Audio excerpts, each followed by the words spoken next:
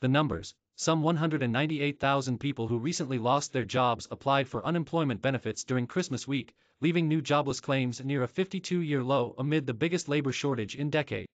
Initial jobless claims fell slightly from a revised 206,000 two weeks ago, based on new government data.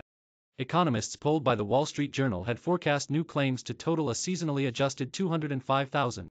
The extremely low number of people applying for benefits reflects the reluctance of businesses to lay off workers when labor is so hard to find.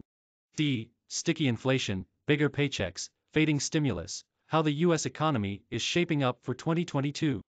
New filings rose the most in New Jersey, Pennsylvania, Michigan, Ohio, and Massachusetts, states with high numbers of coronavirus cases. It's worth keeping in mind that the holiday season often results in large swings in jobless claim.